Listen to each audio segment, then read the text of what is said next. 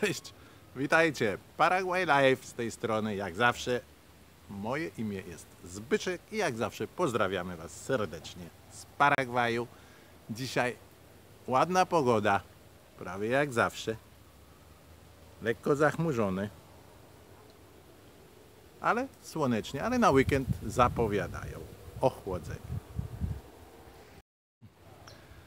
Dziękuję jeszcze raz za wiele zapytań oraz telefonów. Sporo pytań. Dzisiaj chcę porozmawiać. Ważny temat, istotny wydaje mi się. Większość ludzi mówi, no, Zbyszek, 20 lat w Niemczech byliście. Większość z Was chce wyjechać do Niemiec, chce tam pracować, a my odwrotnie.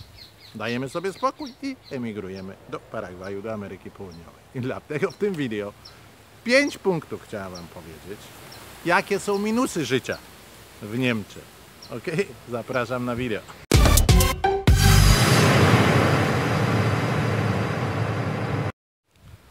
Pierwszy punkt, który mi się nasuwa, to jest biurokracja w Niemczech.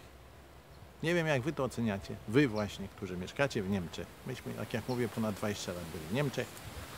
Obojętnie, co się chce załatwić, wszystko trzeba, papierki, wszystko trzeba urzędu, wszystko załatwiać. Zabiera to dużo czasu. Urzędnicy na ogół patrzą na Ciebie jak na intruza. Także to nam przeszkadzało. Biurokracja. Ja byłem w branży w nieruchomościach obojętnie.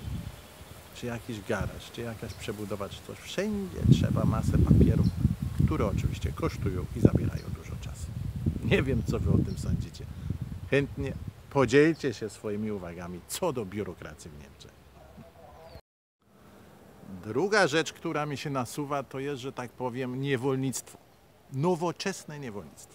W dzisiejszych czasach praktycznie, nie wiem jak wy, ale u nas było podobnie jak u wielu innych. Człowiek zasuwa od rana do wieczora. I kiedyś, powiedzmy kiedyś, w latach, początek lat 80., można było faktycznie zarobić dobre pieniądze. A przede wszystkim coś jeszcze odłożyć, to znaczy zyskać coś, tak? Oczywiście, że trzeba pracować, ale coś trzeba z tego mieć. A w dzisiejszych czasach praktycznie, jeżeli wy to podsumujecie tak samo, co do tego samego wniosku, zasuwacie, zasuwacie, zasuwacie po to, żeby płacić rachunki. Czyli praca robi z was niewolników. O to chodzi, niewolników. No? Praktycznie nie mamy zadowolenia życia, tylko żyjemy po to, żeby pracować.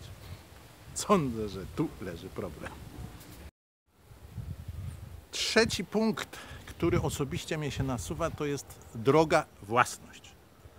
To znaczy, jeżeli chcecie, powiedzmy sobie, kupić mieszkanie na własność, czy też dom, to niestety bez kredytu, bez drogich kredytów się nie obędzie. Trzeba, nie wiem, 200, 300, 400 tysięcy euro, które się spłaca 20-30 lat po to, żeby mieć własność. A jeżeli nie, czynsze są stosunkowo drogie. To znaczy co? Wy pracujecie po to, żeby płacić czynsze. A jeżeli nie, kupujecie dom, mieszkanie na własność, w cudzysłowie, i spłacacie to przez 20-25 lat. I praktycznie zostaje to wszystko, ewentualnie, że coś dla dzieci. Także tu uważam, że są duże minusy. Nie wiem, co wy o tym sądzicie. Następny punkt, czwarty z kolei, który mi się nasuwa, to są sami ludzie. Wydaje mi się, że porównując, powiedzmy sobie, Niemców, ogólnie rzecz biorąc, do, do Polaków, czy, czy powiedzmy sobie, nie wiem, Czechów, Rosjan, nie wiem, jakoś to było inaczej. Ludzie, wydaje mi się, są bardziej serdeczni. Tak ja uważam. Niemcy są na ogół bardziej na zasadzie Ordnung muss sein, czyli porządek musi być, wszystko musi być poukładane. I powiedzmy sobie, porównując to życie, powiedzmy sobie, nawet z życiem polskim, czy w Polsce, czy też u nas w Paragwaju, w Ameryce Południowej, Latynosi są zupełnie inni. Tu człowiek bardziej się śmieje, bardziej się uśmiecha, bardziej docenia życie. I nie tylko. Mm, mm.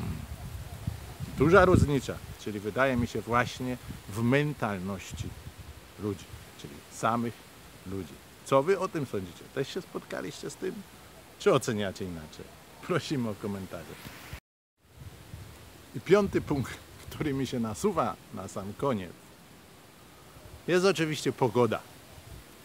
To już wspominałem w moich wcześniejszych wideo. Nie wiem, czy jest 300 dni słonecznych, może tylko 280 w roku, może tylko 260, a może 310. To nie jest istotne. Ale pogoda zazwyczaj jest.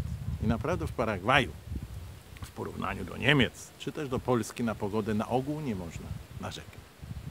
Także, mili ludzie, na ogół dobra pogoda i wydaje mi się, że to też wpływa na nas, to znaczy na nasze postępowanie. Cieszymy się z życia, widzicie, cieszymy się z fajnej pogody i sądzę, że to jest najbardziej istotne. Dlatego tym optymistycznym akcentem chcę podzielić się z Wami właśnie tą pogodą, właśnie tym nastawieniem latynosów. To znaczy częściej się uśmiechać, częściej być zadowolonym z życia, i nie tylko. Mm, mm. Ale żeby być zadowolonym z życia, to trzeba mieć powody ku temu. Dlatego właśnie wyemigrowaliśmy z Niemiec. Żeby nie być w tym kieracie, nie zasuwać praktycznie 16-18 godzin. Tylko żeby żyć. Zastanówcie się nad sensem waszego życia. W Niemczech czy gdziekolwiek indziej jesteście. Sądzę, że systemy są podobne. Dlatego to są moje osobiste skojarzenia. Dlaczego wyemigrowaliśmy z Niemiec i właśnie, jeżeli chodzi o minusy życia w Niemczech. Jestem ciekawy, co wy o tym myślicie. Przede wszystkim właśnie od was, to znaczy od tych, którzy mieszkają w Niemczech i znają ten system. Co wy o tym sądzicie? Chcielibyście zmienić coś na lepsze w waszym życiu, czy jesteście zadowoleni? Interesują mnie. A więc, jak zawsze, proszę na dole o komentarze, o Wasze uwagi, o Wasze spostrzeżenia. To jest tylko pięć punktów, które wymieniłem. Wy na pewno macie więcej. Interesują mnie te punkty. Także chętnie podzielcie się z nami, co Wam przeszkadza w Niemczech. Nakręcę również pewno wideo, wideo o plusach. Także tym optymistycznym akcentem żegnam Was. Na razie jeszcze z ładnego, słonecznego Paragwaju. Przesyłam serdeczne pozdrowienia. Subskrybujcie kanał i przede wszystkim lajki, łapki w górę i dzielcie się wideo również z innymi. Także jeżeli macie znajomych, wrzucajcie na Facebooka, na Twittera, na Instagram. Na pewno ten temat zainteresuje również innych. Także serdecznie pozdrawiam. Miłego no, weekendu jeszcze nie, teraz mamy czwartek, ale miłego dnia i zadowolenia życia przede wszystkim. Trzymajcie się, cześć.